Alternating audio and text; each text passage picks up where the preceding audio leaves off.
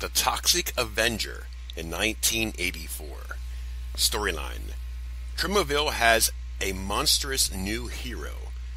The Toxic Avenger is born when Mop Boy Melvin Junko falls into a vat of toxic waste. Now, evildoers will have to deal with him. Directed by Michael Herz and Lloyd Kaufman. Written by Lloyd Kaufman and Joe Ritter, the screenplay. Released April 11th, 1986. Tagline Not all monsters are scary to people. Not if it's one fighting crime in the Garden State. Here's the cast Andree Maranda as Sarah, Mitch Cohen as the Toxic Avenger, Jennifer Babtist as Wanda, Cindy Manion as Julie, Robert Pritchard as Slug, Gary Schneider as Bozo, Pat Ryan as Mayor Peter Belgoody, Mark Torgl as Melvin Junko, Dick Martinson as Officer O'Clancy, and Chris Liano as Walter Harris. And the cast goes on. All right, folks, believe it or not, I never saw this until two days ago. Don't ask me why, I just didn't. And I'm doing a Troma run right now.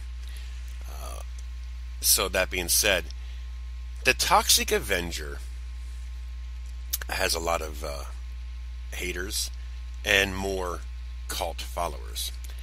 Now, my opinion on this film is I went into this film thinking it's probably some typical corny ass Troma film. Troma film. Which it is, but I like this film.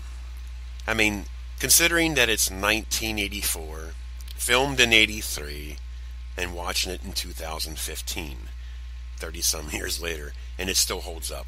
You know, the Toxic Avenger character is very unique, creative, and cool.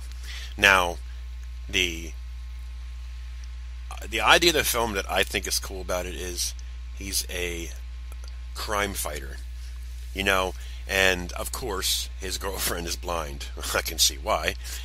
But I like the idea of his voice. It's so fucking hilarious. That deep voice.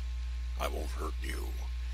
That being said, Melvin, in the beginning of the film, is a nerd, and he's a mop boy.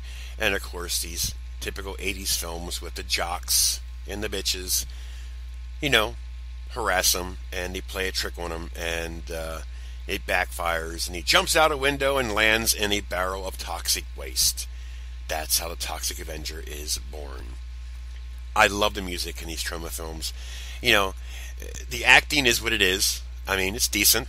The storyline's cool. It's well shot. You know, for the era and for Troma, You know, it's nothing spectacular, but it's definitely a cult film, and it is a phenomenal film. Even 30 some years later, I like this film. You know, you might think I'm crazy that I didn't see it until now, but I'm glad I did because I like the Toxic Avenger. It's very unique.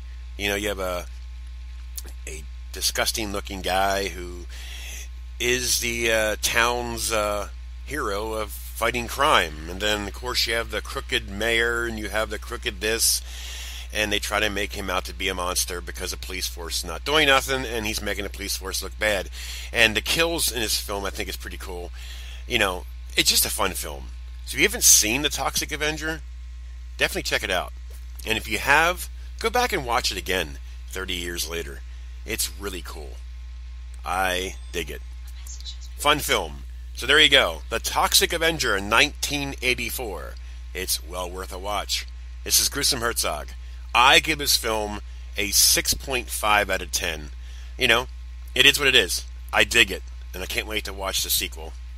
Sequels. That being said, this is Gruesome Herzog, and I'm out of here.